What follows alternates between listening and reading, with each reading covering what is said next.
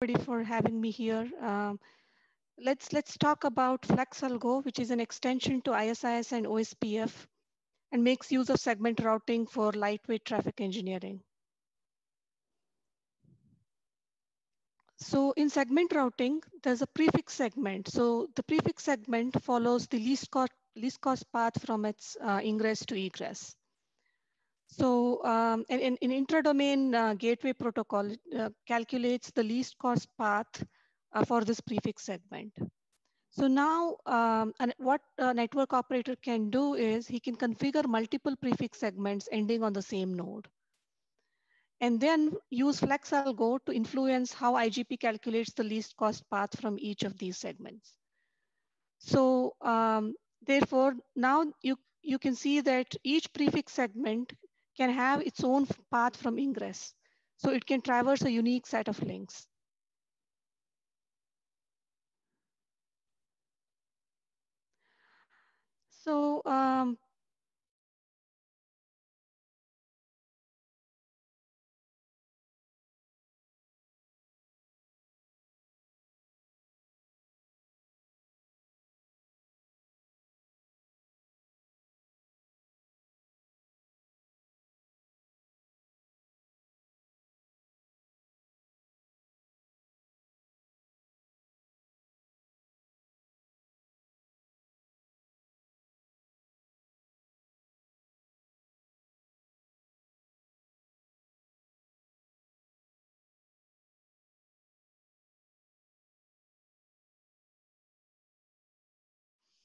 And what type of um, uh, calculation uh, should be used for, uh, for the path computation. For example, um, the well-known uh, calculation type is uh, SPF, which is shortest path first. And what kind of con constraints should be used uh, for calculating the path. And, and all this um, flex algorithm definition is identified using an identifier and advertised in um, ISIS or OSPF. So um, now a segment endpoint advertises multiple prefix segments um, associated with uh, each one with a FAD. So, and also each node uh, uh, advertises uh, which flex algorithms it participates in. So in a network, a single node can participate in one or more flex algorithms. So um, once the flex algorithm definition is in place and also prefix segment for each flex algorithm um, is in place, then each node calculates uh, multiple least cost paths to the segment endpoint. So once each for, um, uh, uh, for each FAD or the prefix segment. So now we have the least cost path that can traverse a unique set of links. So let us see what are the popular use cases where FlexAlgo can be used. The first one, we will see low latency and high bandwidth paths.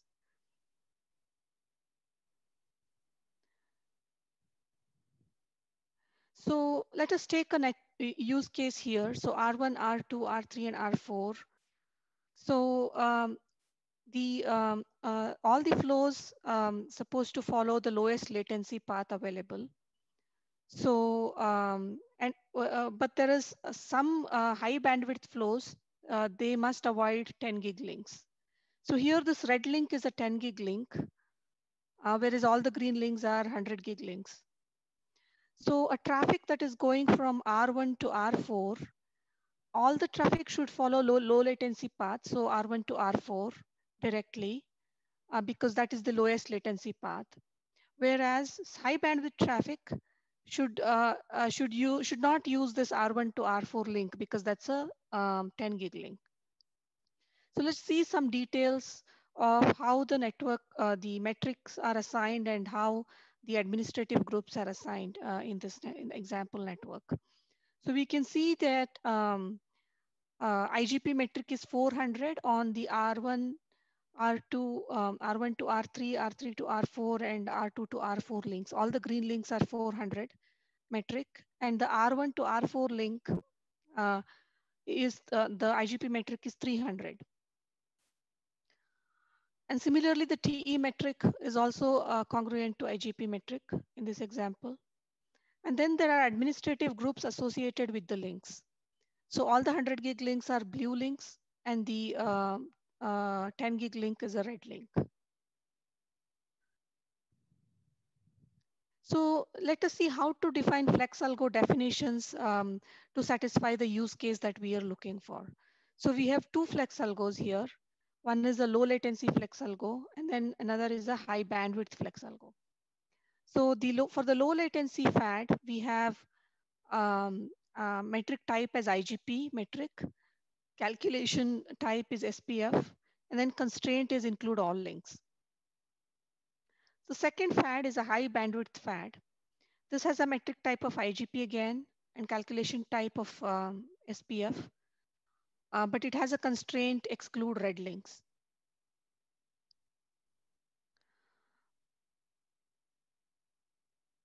So, um, so how does the uh, the uh, uh, solution work end to end?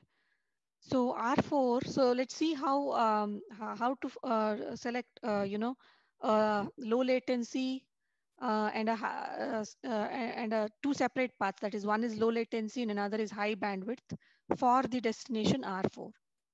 So for R4, um, R4 advertises segment A. So uh, the segment A is associated with low latency FAD. And R4 also advertises another segment, which is segment B, and then it associates it with high bandwidth FAD. So, um, um, so R1 calculates the least cost path uh, to segment A. So the least cost path from R1 to R4 is next hop is R4 on that R1, R4 link. So because for the um, uh, uh, for the um, uh, um, uh FAD for low latency, all the links will appear in the topology. So it will calculate the lowest uh, cost path to R4, which is via R1 to R4 through the red link. Now R1 cal also calculates another path to segment B.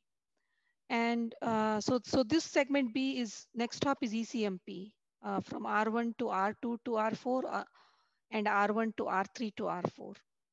So because in the um, second FlexAlgo, the red link will not appear because that has been excluded from the FlexAlgo definition. So the um, path from R1 to R4 would follow the green links.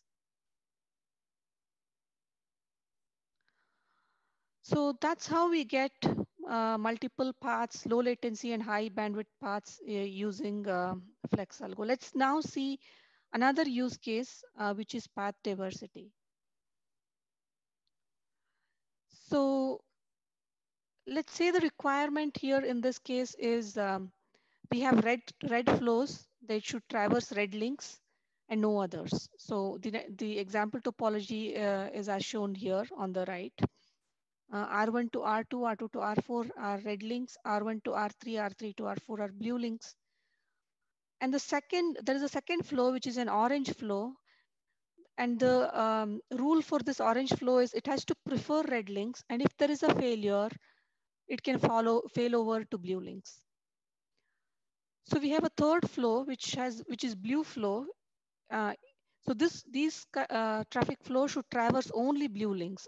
And if there's a failure, traffic would drop. It, it would never go on the uh, red links.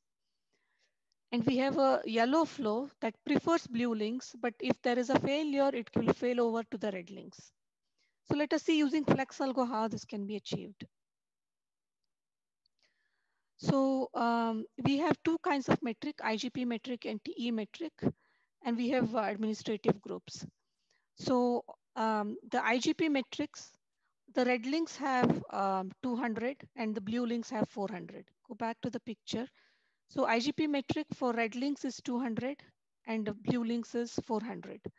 Similarly, the TE metric is 200 for the blue links and 400 for the red links. And then the administrative groups are, have been assigned um, as shown. The red, all the red links will have red administrative groups and the blue links have the blue administrative group associated with them. So the, once these um, uh, link attributes get associated, so the link attributes will get advertised in uh, ISIS or OSPF.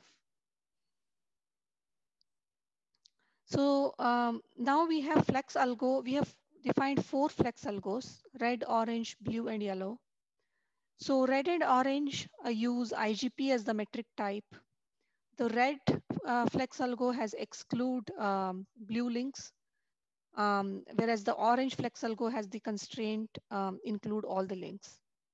Similarly, the blue uh, flex algo has a metric type of TE metric, calculation type of SPF, and then it has constraints that exclude red links.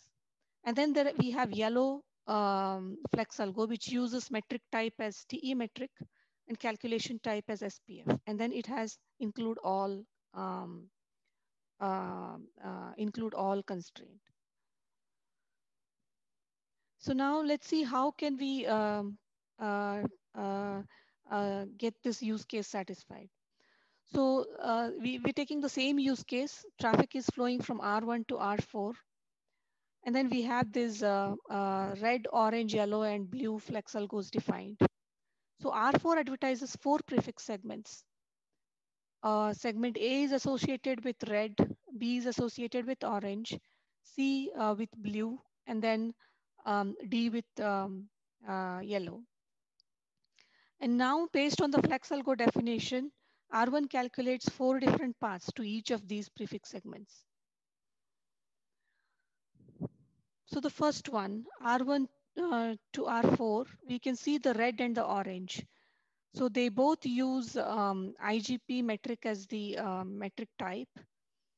Uh, so the, let's first see the red uh, prefix segment for um, uh, segment A, which is for the red uh, flex algo. So for this one, the next hop is R2 because it uses um, only red links and it doesn't even see blue links and um, um, uh, uh, and uses um, R1 to R2 as its next stop to reach R4. And there is no fail failover. In case R1 to R2 link fails or R2 to R4 link fails, traffic would drop. There is no failover because uh, the traffic doesn't is restricted to uh, flow on blue links. And then we have uh, another prefix segment um, B, which is orange, flex algo. And this has, uh, it uses IGP metric, but it, it, it, it includes all the links. So the entire topology is visible to this flex algo. So R1 to R4, you would see um, um, uh, the path is from R1 to R2, uh, R2 to R4 uh, for the orange flex algo. And if there is a failure from uh, on R1 to R2 link or R2 to R4 link, it would choose the um, path via this dotted orange line, which is from R1 to R3 to R4.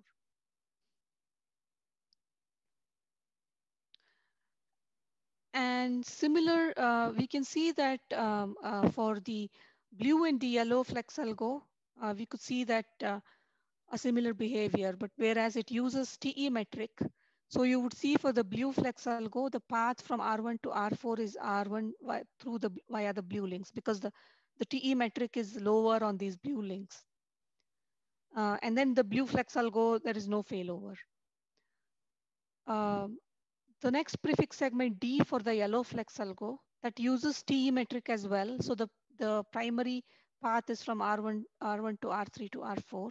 But if there is a failure on R1 to R3 link or um, R3 to R4 link, then it, then it uses um, the uh, dotted yellow line that is R1 to R2 to R4 um, as its failover path. So, so FlexAlgo is a very powerful feature. So many networks only require a very coarse grained TE and in, as in the use cases described above, FlexAlgo solves these use cases in a very easy way, just using IGP extensions. So, um, and also another advantage is that the same um, solution could probably be achieved with uh, segment routing TE by uh, stacking uh, a, a, number of labels. But then the advantage with FlexAlgo is that you could achieve the same, same thing with the single um, single segment. Uh, and there is no need to uh, specify TE policy on a controller or um, do any kind of head-end computation. The paths are computed in IGP itself.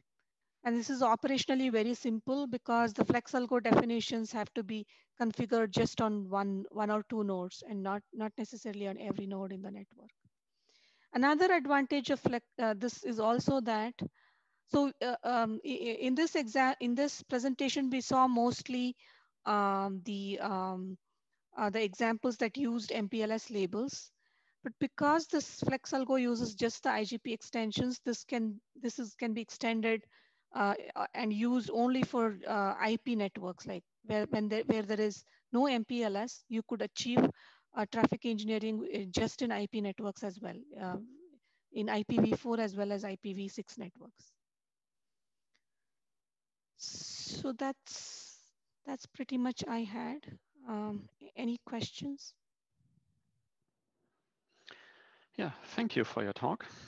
Um, unfortunately, we had uh, sound issues again during the first minute or two. Uh, we hope to fix it uh, in the recording. Otherwise, we might do a voiceover with it or have a look at it. I haven't collected any questions yet, but I think they will come in soon. Uh, according to the chat, the people liked your talk. There are a lot of clapping hands coming up now. And let's see if they've got any questions.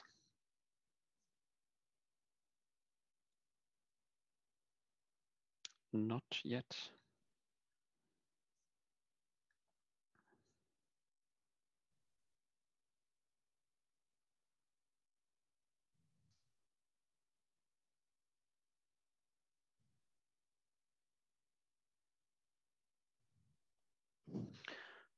No, not really. Probably they will have to think about it again, uh, about the benefits of, of using it. Ah, now they've got the first. Uh, can I contact you after the recording for question as it was sadly incomplete? Yeah, I said well, the, the first two minutes were, were missing again. Are you open for questions later on? Yes, definitely. Okay. Definitely. Uh, yeah. how, how complicated is it to integrate into a running network? So to make the switch? Um, so uh, in a running network, so you will have to enable um, FlexAlgo on, uh, uh, uh, you have to upgrade your uh, routers. Um, um, so uh, because this is based on IGP and the SPF computation happens on every node. So if you want, um, you know, all the nodes to participate in your FlexAlgo, all those nodes have to be upgraded um, uh, uh, that support this um, uh, FlexAlgo feature. And once uh, you've done that, you're, let's say if you, you have existing metric configuration and existing admin color um, configurations, all those will be reused. All you need to do is choose one or two routers and define your FlexAlgo definition, and then uh, you're good to go. Is it possible to run it uh, parallel to LDP RSVP? So does it is it capable to coexist with these protocols? Yes, yes, yes, definitely. It, it can coexist with LDP and RSVP as well. Okay.